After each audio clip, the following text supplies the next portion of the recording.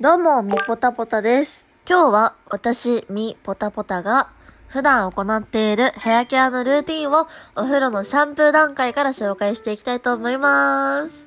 ヘアケアの動画は、まあ、めったに出さへんし、だから、レアですね。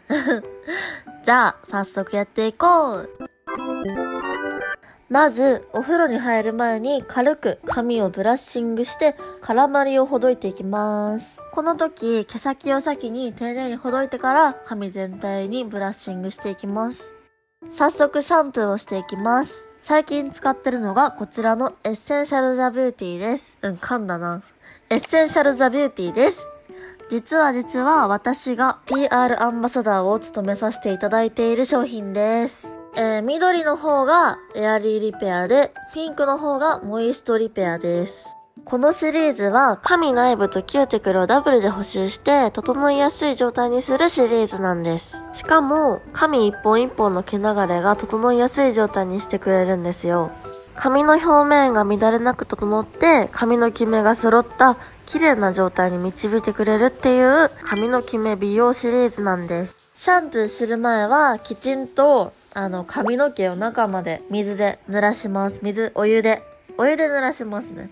はい、やっとシャンプーします。お湯の温度はまあ高すぎず38度か39度ぐらいにしています。いつもはだいたいシャンプーはうーん、4、5、6プッシュかな。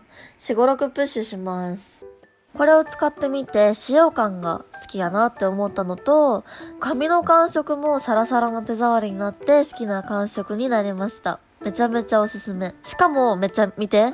泡立ちめっちゃ良くて。いや、なんといっても、香りがめちゃめちゃ好きな香りで、翌朝もシャンプーのおかげでめっちゃいい香りするから、もう素敵な朝を迎えることができるので、ぜひ使ってみてください。はい、シャンプー流していきます。ちゃんと流し残しがないようにします。次はコンディショナー。コンディショナーもミポはだいたい4、5、6プッシュしてます。いつも5分ぐらい置くんやけど、その間にこうやってムラなく馴染ませるテクニックをこの前教えてもらって、時間ある時は実践してます。付け方のコツとしては、コンディショナーをつけた後に一束ずつ取って、こうやって指の腹でキューティクルを寝かしつけるように馴染ませて、ゴツゴツってした手触りが滑らかになるようにする。で、5分ぐらい経ったかなって思ったら流します。はい、お風呂から出た 前まではたまに髪濡れたまま寝る時とかあってんけど、まあ、最近それはやばいなと思ってちゃんとしてます。とりあえずタオルドライしてからブラッシングして、あと洗い流さないトリートメントをつけて、毛流れを揃えてから、まあ、いい状態にしてから乾かします。えー、ドライヤーは下からしないように注意しながらしていきます。まあセミロングの長さやから結構乾かすのは時間かかるけど、さっきのシャンプー使ってからはマジで乾かす時間、ドライヤー時間が減ったからめちゃめちゃ嬉しいっていうか助かる。つい半乾きでドライヤー終わっちゃいがちやけど、乾いてる証拠としては、あの、冷たい風を髪に当てて、冷たくならへんかったら乾いてる証拠やから、そこで終わり。